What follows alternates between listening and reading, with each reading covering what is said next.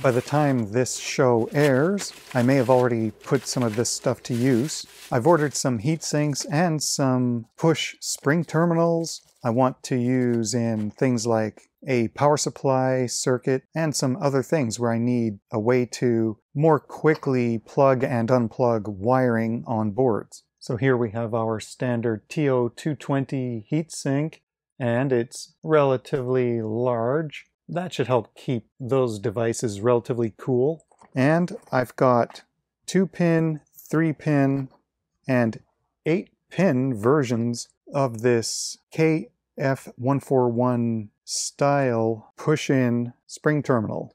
So it looks like I have right angle ones for the two and three pin. They would go into the board and the contacts are right angle.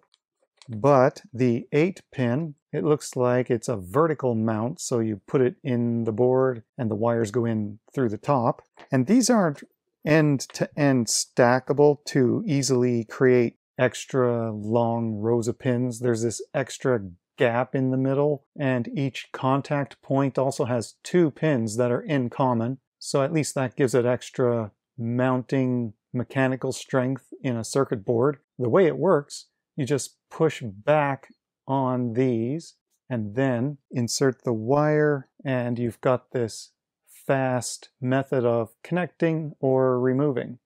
A couple of packages that are possibly indirectly related, some ICs and some audio jack adapters between dual RCA phono style to a mono quarter inch plug the chips are CD4053 analog two-way switches. So you can have one analog signal and switch it between two other paths. So that could be used for signal routing, like taking a signal, whether it's audio or something, and switching it between two different inputs. It's going to be possibly put to use in the ongoing audio octave effect project.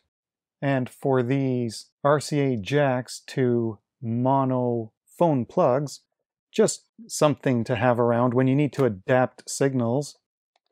So depending what I'm doing and if it matters if it's mono or stereo, I can just plug this in here and use this to go from mono quarter to stereo eighth. So we don't want two outputs like left and right audio driving each other into a short circuit to make it mono, but it's just an example of you can have all kinds of cables and plugs all over the place. Sometimes you do need to adapt. Even if I'm just using one channel here to go from RCA to phone plug. So let's just check.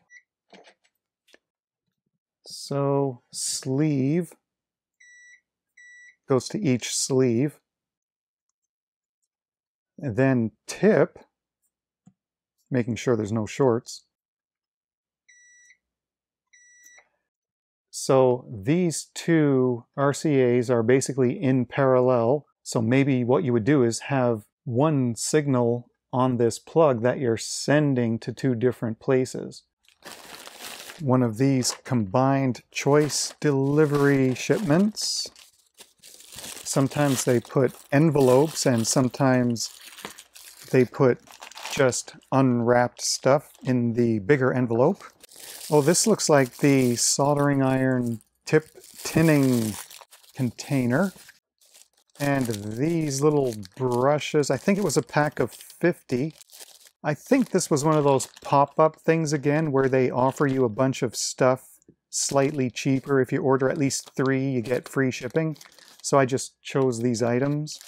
So I figured in case you ever need to kind of suction some sort of liquid out of one spot, drop it somewhere else, if you're doing some sort of experimental thing, or if you need to actually pick up some sort of small amount of liquid that went somewhere, maybe you want to transfer some stuff between containers in some small amount, whatever the case may be. Maybe this could be used as an applicator to get it in somewhere else that you can't reach.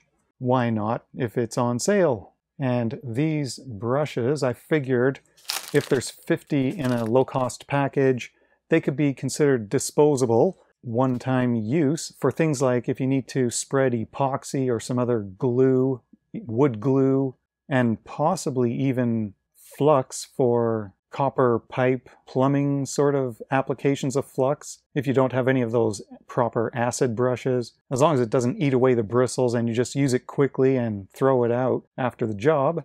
And maybe they can be used as a way to clean dust out of certain areas on circuit boards or other things that you might open up for servicing.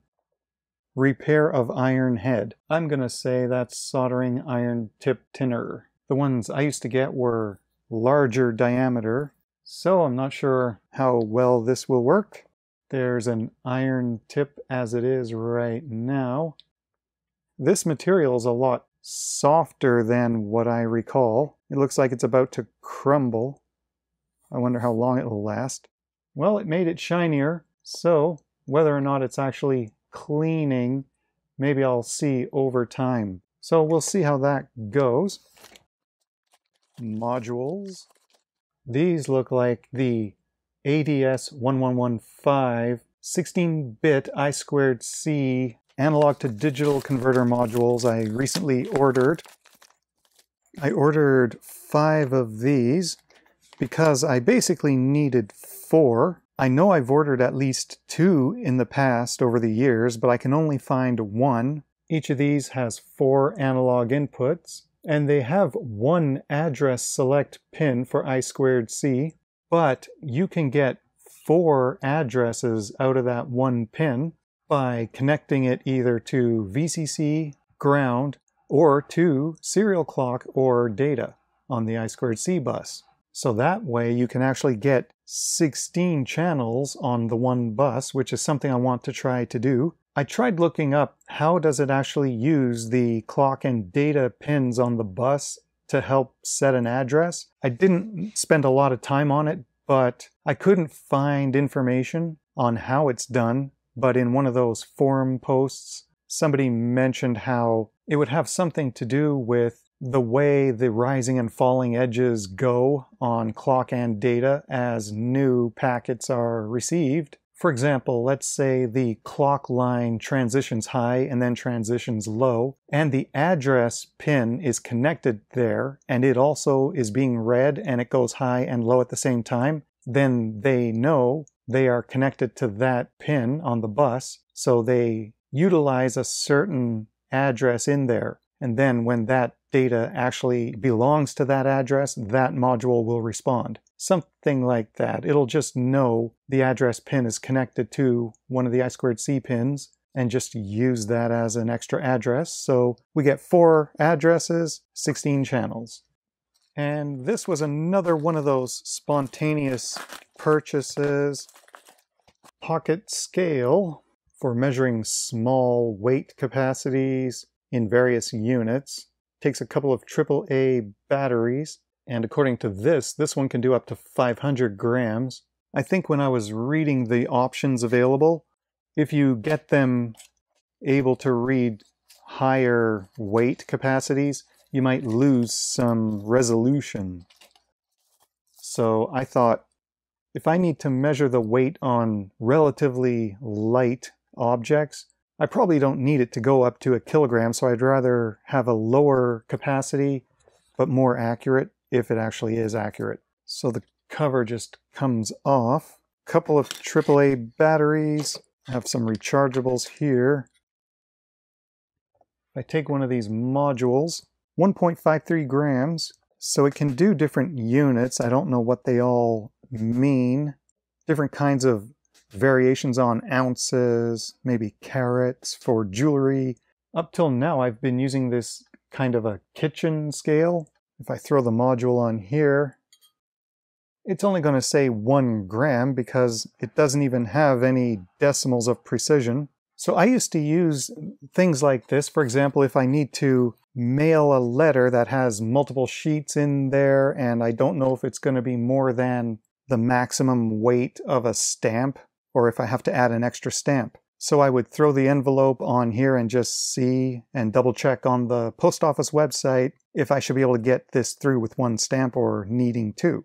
So that box, seven grams on this scale. If I bring this one in, 7.43. This iron conduction tip cleaner says net 6 grams. Well, we got 9.2 grams, including the container. So some more useful utilities, accessories for general workbench, ongoing operations, some more parts for projects, trying new things like these connectors with push pin terminals. I'll have to see if I want to standardize on these or maybe just use them in specific applications. Thanks to Patreon and channel supporters for helping make this possible.